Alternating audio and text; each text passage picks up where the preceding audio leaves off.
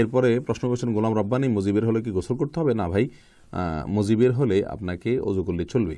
মুজি হলো গোসলের আগে, এই মুজি হলো শরীরের মানুষের বীর্য ইয়ে থেকে আপনার লজ্জাস্থান থেকে যদি কোনো প্রকার ইয়ে বের হয় আপনার তরল কিছু, তরল কিছুটা আঠালো এবং পানি কালার যে ইয়েটা বের হয় সেটাকে মজি বলা হয় এটা সাধারণত মানুষের সেক্সুয়াল কোনো চিন্তাধারা করলে সেক্ষেত্রে বের হয়ে থাকে বীর্যের আগে।